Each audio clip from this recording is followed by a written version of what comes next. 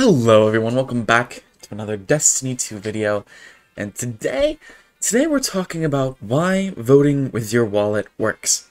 The reason why Final Shape was delayed was because Bungie missed 45% of their projected revenue from those pre-orders for Final Shape.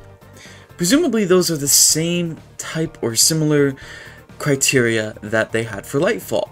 And obviously, I think we can all say that Lightfall was definitely not good, but the reason the pre-orders went so well, if you don't know, is because Witch Queen was such a great DLC. Witch Queen is the pinnacle of recent Destiny 2 expansions, with Forsaken being the best before that, in my opinion. Obviously, you can have your own opinion, but let's be honest, if you look at Shadowkeep reviews, Beyond Light reviews, and then compare them to Forsaken and Witch Queen, well, you see my point. Collabs are a cool idea. And I, I really, really dislike this because Fortnite is a, is a very, very, very popular game. And I have bought one Fortnite Battle Pass in my gaming history. Okay? I play I don't play Fortnite that often. In fact, I haven't played it in maybe a month or two. And before that, it was probably a month or two in between the last time I played as well. But the point here is that the Battle Pass I bought, I got so many cosmetics from. It's insane. It's crazy. The only time I went to go play Fortnite was because they had the Destiny skins. And I bought one. I bought one because Man, isn't it great to be Commander Zavala and do the gritty on the enemies that you kill? I mean, it's it's funny, it's it's cool. And at the end of the day, it's nothing but harmless fun, right? And I only spent, I think, like $10, so like, that's not bad at all when you think about it. If The Witcher stuff was $10, like, come on, people, more people would buy it. But it's, it's priced so crazily that I understand why people are outraged and they should be. And of course, wanting it for free is one thing, and, and wanting Bungie to drop the price, I think, is a much more reasonable thing because they have to make some kind of profit from it.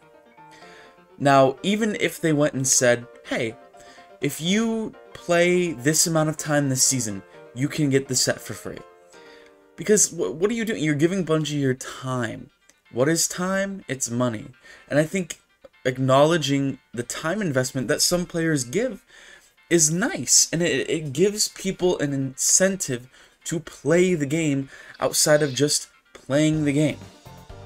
And that's something that that we've been as the community like we want that. I want that. Like that that would bring in so many people because you have a collab where you say hey you know we're doing a collab with Star Wars or we're doing a collab with Dark Souls all Dark Souls fans who play Destiny are going to come in and they're going to play a crap ton of Destiny in that season to get the armor. And that brings in a whole influx of people, and it's great for everyone. Dark Souls fans get a cool set, content creators get to show all these Dark Souls fans how to play Destiny, how to farm the most efficiently, and all that jazz. That's that's what Destiny's all about, is sherpaing people you know through content to help them out. And in the end, Bungie gets a bunch of people playing Destiny, and all they had to do was a collab. And guess what? It's possible that the people who come in and play, maybe, you know, they played Destiny before, and they're coming back because of the collab, but the reason they weren't playing is because their investment wasn't seen as something that's valuable. So now that their investment can be used to get something valuable like a collab armor set, they come and play. So after they do that, they might be like, wow, okay, this game is actually fun. I'm going to pay $10 for the next season. And then, yeah, you know, it is the vicious cycle of capitalism where they get hooked on something and, of course, they're going to continue to pay for it, at least potentially, right? But at least you gave them that set for free. And there, there should always be the, the promise, or at least the, you know, something that they can attain for free something because that $10 per season is going to keep Destiny afloat. And that's it's simple. It's so simple and much easier and and you're going to get so many more people with that as opposed to the the things like like the starter pack that came out, and of course the Witcher set, which most people cannot afford to get, or simply don't deem it as something that they should get because it's again outrageously priced. A great example of cosmetics that were free is the Ghost of the Deep dungeon armor. It is so good because of the way it shades, the way it looks. It's a fantastic armor set. Now, granted, you do have to buy the dungeon key to get it, so it's not technically free, but still, it's seen as a time investment because you have to play the dungeon to get it. And there's a lot of content like that in Destiny, right? Root of Nightmares has a really cool set as well. Of course, you also have to buy Lightfall to get that armor set. I think Vault of Glass honestly has one of my favorite armor sets in the game, and you can play that for free as a free-to-play player, which is a cool thing. I I believe you can get everything from free from, from that raid. I could be wrong because I'm I've never played as a free-to-play player.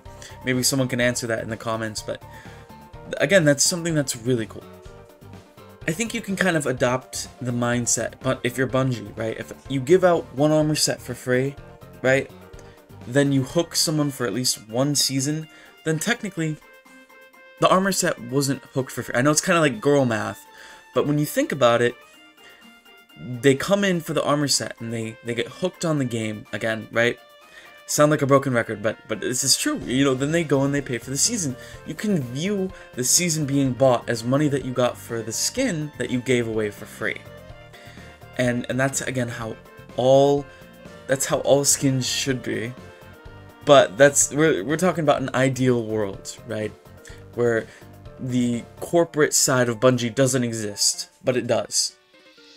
I'm just gonna go back to the Fortnite Battle Pass for one moment just one moment, okay? Just bear with me here. So the, the battle pass that I bought for Fortnite was because of the Ahsoka collab.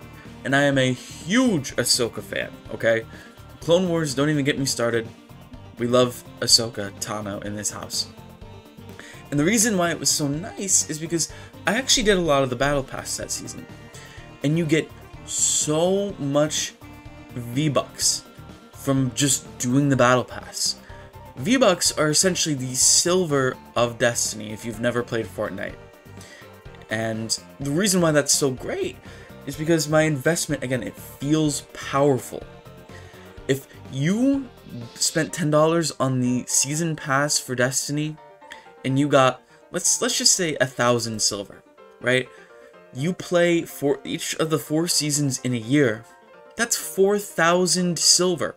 That equates to one collab armor set plus you know whatever else you want to get with that a thousand silver left over or how much how much they they deem the collab set is worth. So that gives you so much for your investment. They could hike it up like let's say there's bonuses after you complete the 100 levels in the season pass.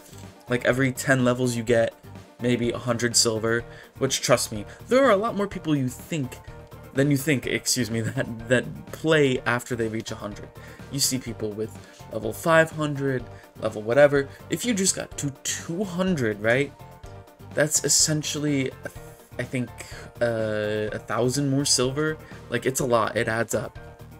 So this is just, this is just basic ways that you can reward people for simply playing the game every day and investing their time into your game.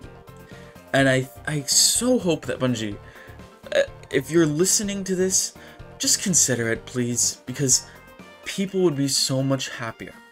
And the reason why I, I again we have this power is because if we don't buy Final Shape, if we don't buy the collapse sets, if we call out things like the starter pack for what they are, malicious greed campaigns, then we can get to a point where Bungie has to change not out of a a want from the community, not out of a desire, but out of a need from the sheer fact that they need to change, that they can't afford to stay the same anymore.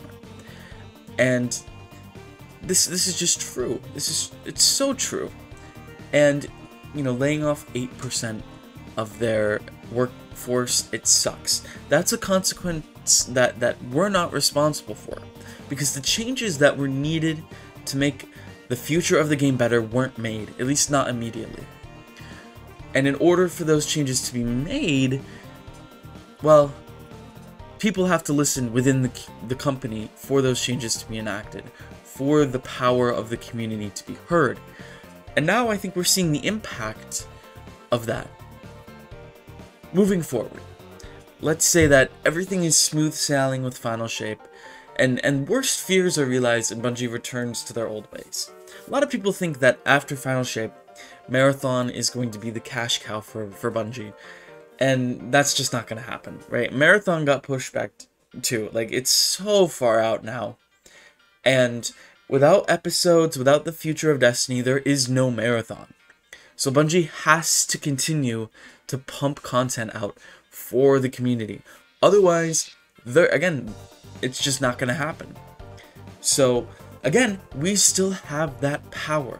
So keep that in mind. If you want to see more change in Destiny, then you have to to vote with your wallet. I, I know it, it's you've been hearing it so much, but it's so true. If you don't want to see the change and you want just you know, I, I don't want to say that you have to not spend money on Destiny. And some people will say, yes, you, you have to continue to buy the content in order to, to make the change. out. No, you don't. You don't. You honestly don't.